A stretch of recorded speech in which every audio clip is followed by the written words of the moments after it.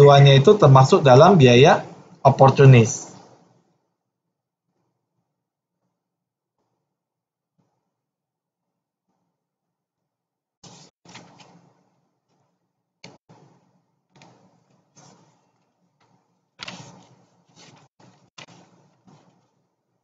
Jadi jawabannya itu uh, B termasuk biaya eksplisit dan biaya implisit.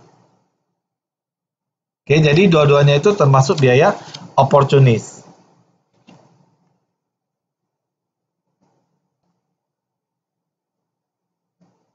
Oke, nah kenapa dia biaya eksplisit? Artinya ketika kita udah memproduksi satu barang, nah maka barang yang lain itu tidak bisa kita produksi artinya kita mengorbankan yang lain untuk memproduksi yang satu ini. Nah, itu biaya eksplisit.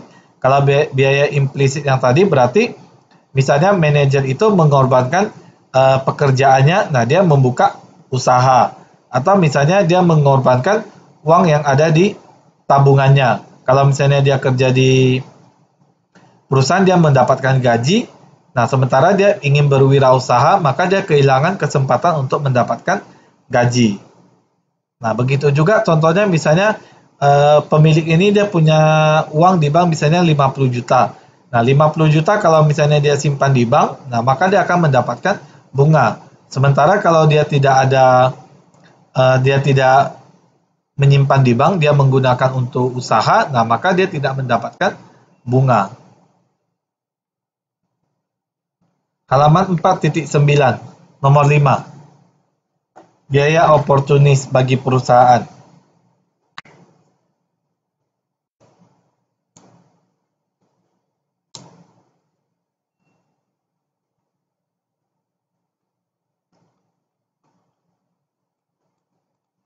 Oke, jadi jelas Mbak Furaida, Mbak Fitri. Jadi biaya oportunis ini termasuk eksplisit maupun implisit.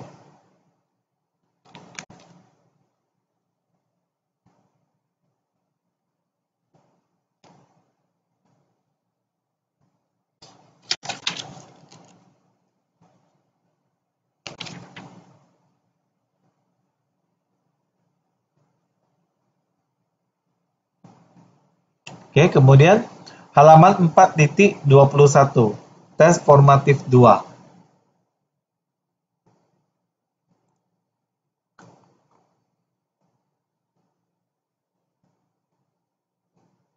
Oke, halaman 4.21 tes formatif 2. Nah, yang pertama yang dimaksud dengan periode produksi jangka pendek adalah periode ABCD D. Oke, nah paling tidak ada satu faktor produksi yang tidak dapat diubah jumlahnya.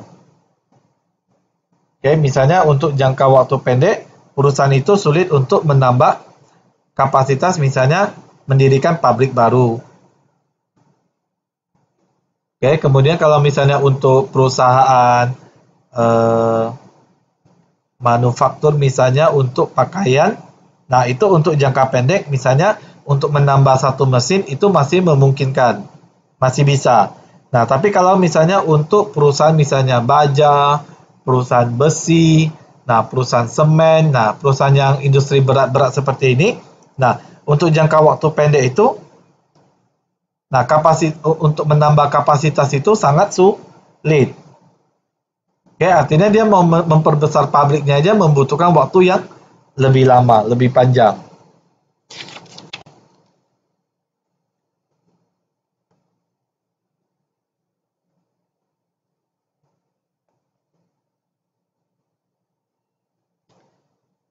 Oke, nomor 5. Pada setiap tingkat output tertentu, biaya variabel total perusahaan sama dengan biaya. Jadi untuk menghitung biaya variabel ini, dapatnya dari mana? Total variable cost ini, rumusnya adalah C. Total dikurangin dengan biaya tetap. Artinya total cost TC dikurangin dengan FC. Oke, nah karena rumusnya itu adalah FC ditambah VC itu sama dengan TC. Oke, jadi total cost itu sama dengan biaya tetap ditambah dengan biaya variabel.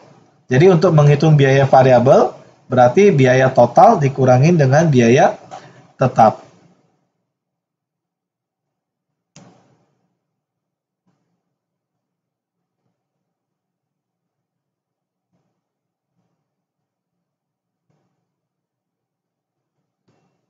Oke, nomor 8. Produksi marginal mulai turun pada pekerja yang ke A, B, C, D. Itu ada di tabel atas, tabel nomor 7.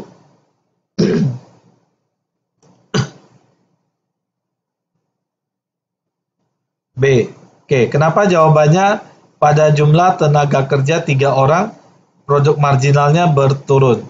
Nah, itu hitungannya dari mana?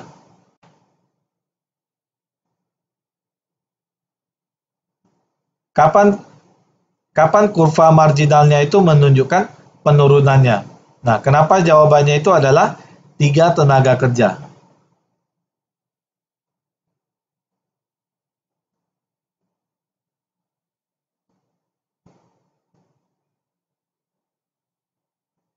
outputnya itu meningkat 5, 13, 17, 20, 21.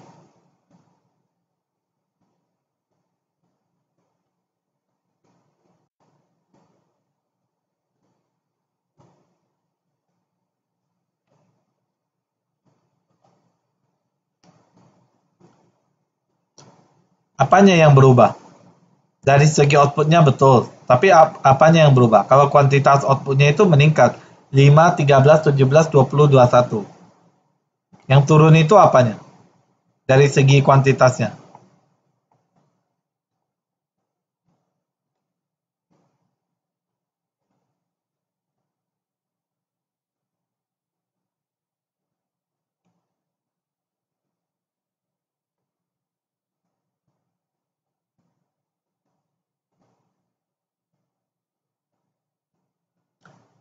Oke, tambahan hasil yang menurun. Oke, betul ya Mbak Tri ya. Nah, jadi kita kita lihat. Nah, kalau misalnya dia ada satu tenaga kerja, cuma satu orang, nah dia bisa menghasilkan 5 unit.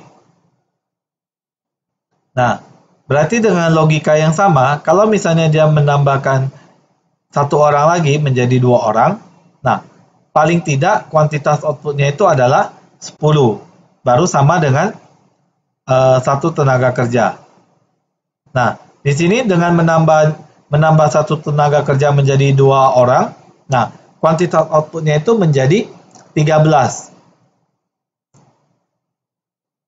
Artinya ada peningkatan sebesar 8 unit. Nah, tapi kita lihat dari dua orang ke tiga orang.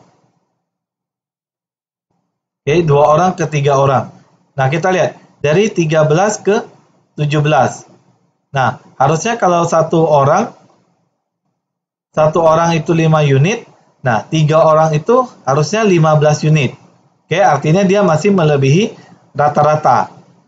Nah, tapi kita lihat peningkatannya.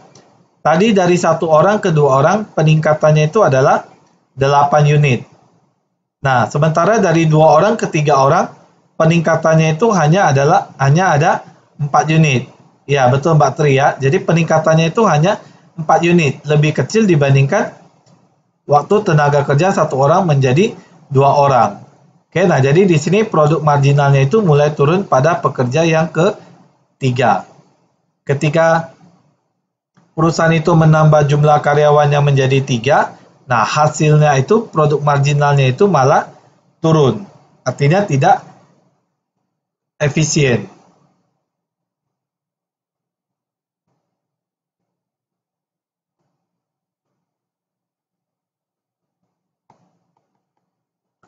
Oke, kemudian kita lihat nomor 9. Dari schedule biaya didapat informasi pada tingkat output 0, artinya kapasitas produksinya 0, dia tidak memproduksi. Nah, besar biaya total adalah 10. Oke, nah maka biaya tetap adalah ABCD. Pada schedule biaya didapat informasi pada tingkat output 0, artinya produksi perusahaan itu 0 atau perusahaan tidak produksi. Nah, besar biaya total adalah 10, nah maka biaya tetapnya adalah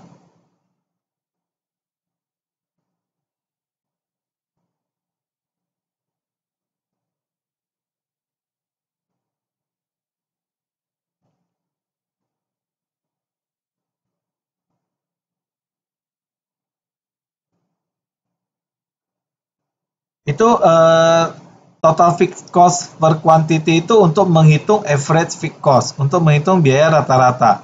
Nah, kita lihat rumus yang tadi yang uh, nomor 5. Oke, nah kita lihat dari nomor 5. Nah, total total cost. Nah, itu rumusnya itu adalah total variable cost ditambah dengan total fixed cost. Oke, total cost itu sama dengan total total variable cost ditambah dengan total fixed cost. Oke, nah jadi di sini saya ketik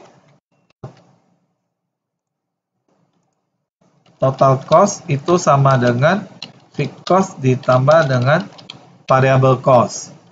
Oke, berarti total cost itu sama dengan nah fixed cost di sini adalah 10 kemudian variable cost. Nah, di sini karena dia outputnya itu 0, dia tidak memproduksi. Nah, maka variable cost-nya itu adalah 0. Nah, maka total cost-nya itu adalah sama dengan 10. Oke, nah di kunci jawaban itu adalah minus 10, itu salah jawabannya, itu harusnya C.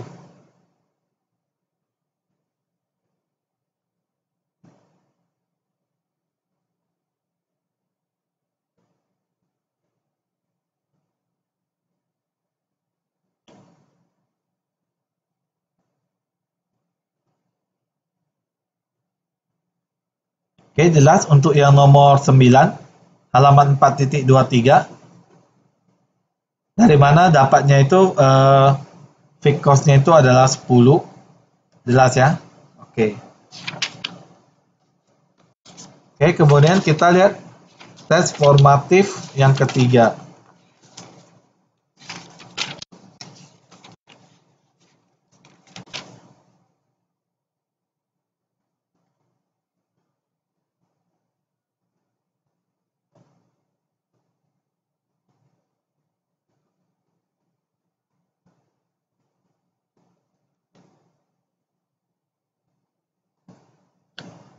Oke, kita lihat nomor 2, kurva ISO produk dan ISO biaya digunakan untuk analisis guna. Oke, kita lihat dulu kurva ISO produk dan ISO biaya.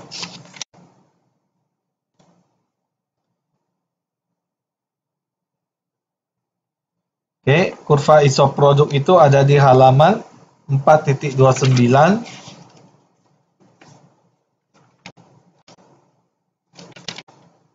atau halaman 4.30 kurva ISO produk. Kemudian kurva ISO biaya itu ada di halaman 4.34. Oke, kalau kombinasinya itu ada di halaman 4.35. Oke, gambar 4.13. Kombinasi dari kurva ISO produk dan ISO biaya.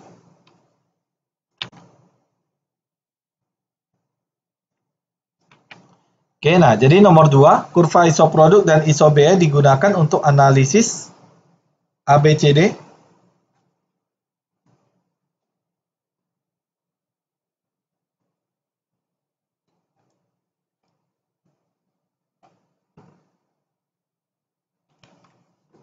B. Untuk menentukan kombinasi kuantitas dua macam input yang memberikan biaya minimum untuk memproduksi kuantitas-kuantitas output yang mungkin diproduksi. Oke, nah itu ada di halaman 4.35. Jadi bisa lihat tujuannya itu untuk meminimalisasi biaya produksi atau maksimisasi outputnya.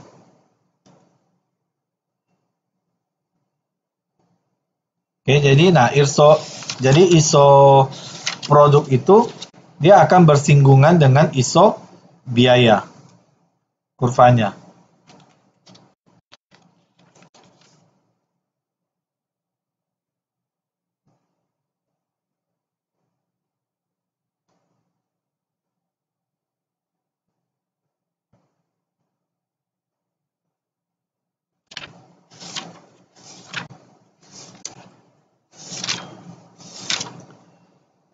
Oke, nah kemudian kita lihat nomor 3. Kurva isoproduk mempunyai karakteristik sebagai berikut, kecuali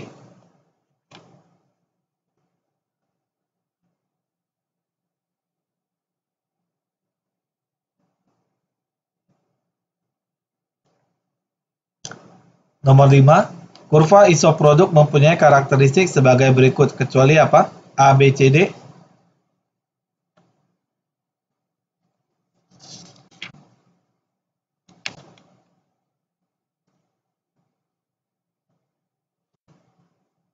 C. Mencapai kurva iso biaya. Oke, nah kita lihat jawabannya itu ada di halaman 4.28 dan 4.30. Oke, nah di halaman 4.28, nah itu ada kurva iso produk mempunyai ciri-ciri sebagai berikut. Nah, yang pertama itu belereng menurun. Kemudian yang kedua berbentuk cekung ke arah titik asal. Nah, kemudian yang ketiga ada di halaman 4.30 yaitu tidak saling memotong. Oke, nah maka jawaban yang benar itu adalah selalu mencapai kurva isobiaya. Itu bukan karakteristik dari isoproduk. Oke, nomor 4. Biaya total mencapai minimum bila garis isobiaya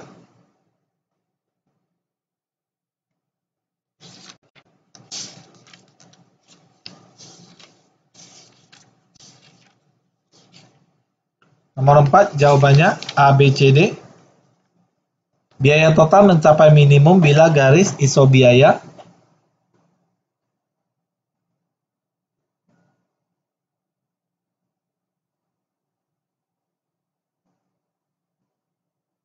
bersinggungan dengan kurva isoproduk. Oke, itu ada di halaman 4.35. Oke, di halaman 4.35 di gambar 4.13. Nah, di situ ada kurva-kurva iso produk dan iso biaya. Oke, nomor 6. Yang dimaksud dengan biaya jangka panjang adalah periode waktu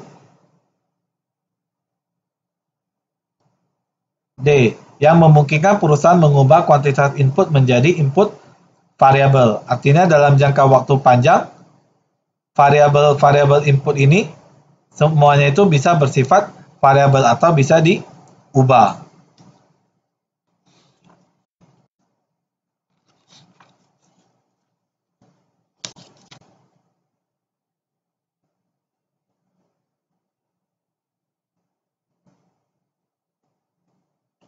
Oke, kemudian kita lihat di modul 5. Oke, modul 5 halaman 5.15.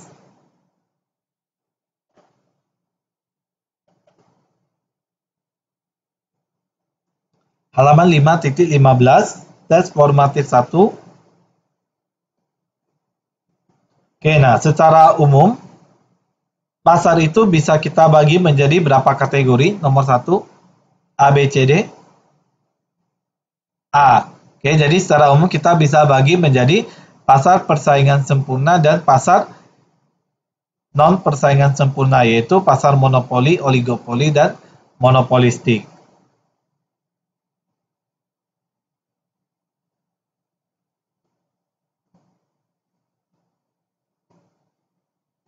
Nomor tiga, diferensiasi produk terdapat pada pasar.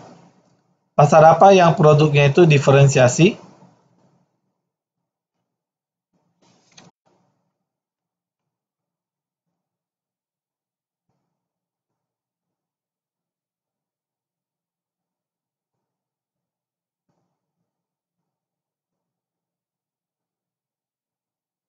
oligopoli dan monopolistik.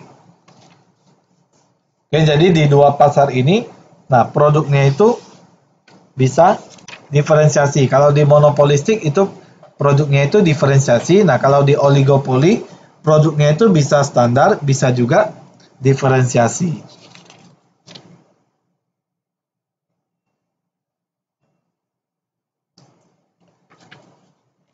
Oke, kemudian tes formatif yang kedua halaman 5.37.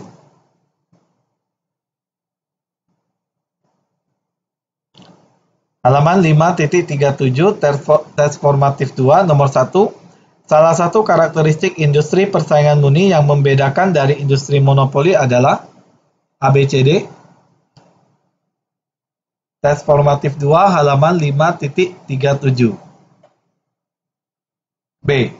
sangat mudah perusahaan masuk atau keluar dari industri. Nah, jadi itu adalah salah satu karakteristik dari persaingan murni. Nah, di mana kalau kita lihat industri monopoli, nah itu adanya hambatan untuk masuk atau keluar di dalam industri. Seperti misalnya kita lihat di perusahaan monopoli, nah itu PLN itu satu-satunya yang ada di Indonesia. Nah, dia tidak ada jadi perusahaan lain itu kalau mau masuk itu sulit. Atau misalnya kita lihat Pertamina. Nah, Pertamina itu dulunya itu monopoli. Nah, tapi sekarang pemerintah buka uh, untuk swasta men, untuk mensuplai BBM. Oke, misalnya dari Shell atau dari Petronas. Nah, tapi masih mayoritas dikuasai oleh Pertamina. Oke, nah sementara persaingan murni kita lihat kalau misalnya kita mau buka toko sembako, ya itu sangat mudah. Yang penting kita punya modal, kemudian kita punya lokasi, kita mau buka di mana ya buka di mana. Atau misalnya di pasar tradisional. Kita mau jualan sayur, mau jualan misalnya ikan, daging atau apa pun. Nah, itu asal kita punya modal ya tinggal kita buka usahanya. Kemudian kalau kita merasa industri ini atau usaha ini udah tidak menguntungkan, Nah, maka kita tinggal tutup atau kita bubarkan. Oke, jadi tidak ada halangan untuk masuk atau keluar dari industri.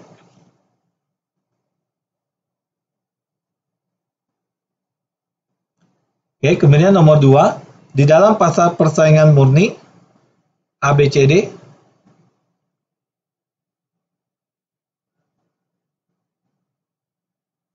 D Oke, tak ada satupun perusahaan yang dapat mengenakan harga lebih tinggi daripada harga pasar. Oke, nah karena kita tahu salah satu ciri daripada pasar persaingan murni itu adalah konsumen dan e, produsen dan konsumen itu akan menyesuaikan akan menyesuaikan dengan harga equilibrium. Oke, di mana harga dan kuantitas itu sudah ditentukan oleh pasar. Jadi kalau misalnya jualnya itu terlalu mahal, nah maka orang akan berpindah ke tempat lain.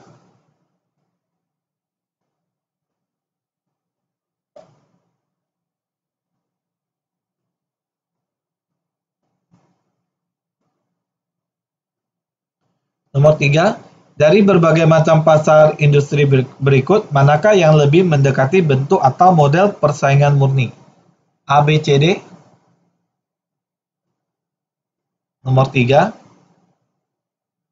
D. Oke, nah jadi beras. Beras kita lihat kalau misalnya kita mau beli uh, dengan merek yang sama, itu harga yang dijual itu kurang lebih juga akan sama. Dia tidak akan berbeda sangat jauh. Nah, tapi kalau kita lihat misalnya mobil. Nah, mobil jenis A dengan mobil jenis B itu harganya berbedanya cukup signifikan. Misalnya kita lihat uh, Toyota misalnya dengan Honda atau Toyota dengan Nissan atau Toyota dengan BMW. Oke, nah kita bisa lihat industri mobil itu harga satu unit dengan unit yang lain itu harganya cukup cukup jauh perbedaannya. Nah, begitu juga dengan harga rokok. Oke, misalnya Sampurna dengan gudang garam merah atau dengan gudang garam filter atau dengan gudang garam Surya. Oke, atau dengan rokok-rokok jenis lainnya. Atau dengan rokok Jisamsu misalnya.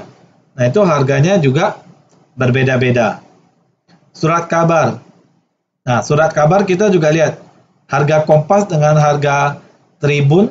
Nah, itu juga berbeda. Ya, karena pasarnya juga berbeda. Satu nasional, satu daerah. Nah, maka di sini yang lebih mendekati pasar persaingan murni adalah industri beras. Oke, jadi jawabannya adalah D.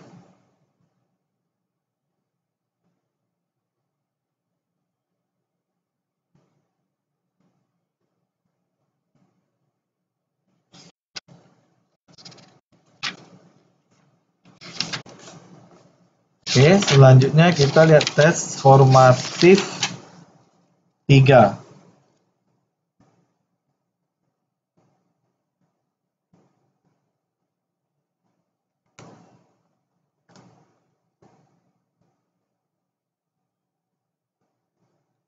Oke, tes formatif 3 halaman 5.57. Oke, nomor 5. Dalam jangka panjang, perusahaan pesaing murni akan tutup bila ABCD A. Oke, harga turun di bawah biaya variabel rata-rata pada setiap tingkat outputnya. Nah, jadi kita nama perusahaan persaingan murni itu kan dia akan memproduksi pada kapasitas yang maksimal.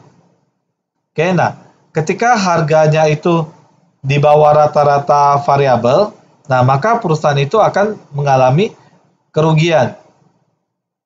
Oke, nah daripada dia merugi, nah lebih baik dia menutup usahanya. Oke, jadi kalau dalam jangka panjang kalau misalnya perusahaan di persaingan murni, kalau harganya itu sudah di bawah rata-rata, nah dia tidak akan memproduksi lagi. Nah, sementara kalau misalnya harganya itu masih di rata-rata biaya tetap, nah itu masih bisa diproduksi.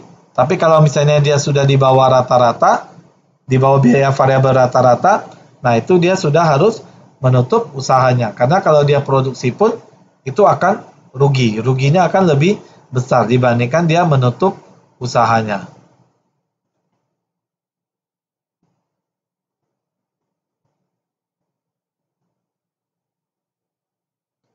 Oke, nomor 6. Keluarnya perusahaan-perusahaan dari industri pasar persaingan murni dalam jangka panjang menunjukkan ABCD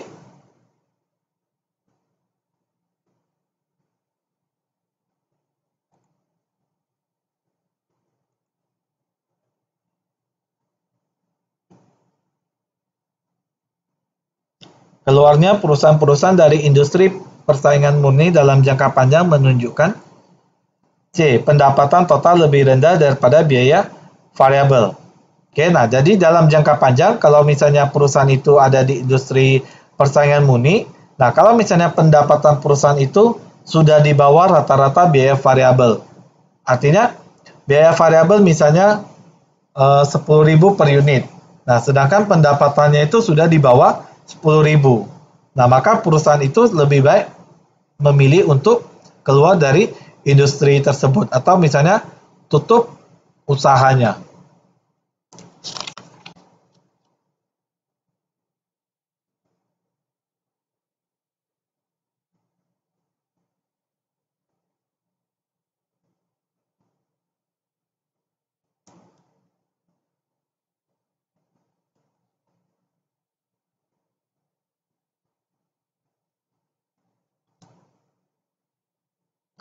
Oke, nomor 9. Kesimpulan hasil pasar industri persaingan murni yang positif adalah ABCD.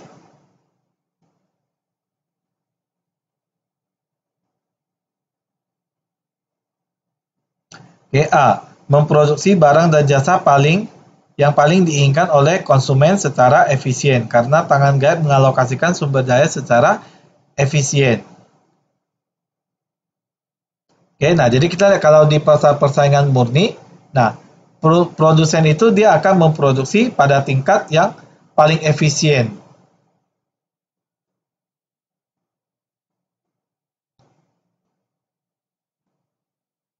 Oke, nah dengan dia memproduksi secara efisien, nah maka harga produksi atau biaya produksinya itu akan rendah.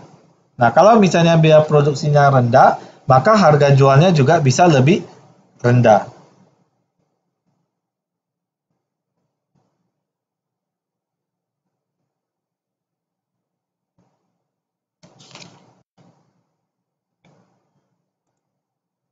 Oke, nah itu adalah tes formatif dari modul 5. Oke, selanjutnya kita lihat modul 6. Tes formatif yang pertama.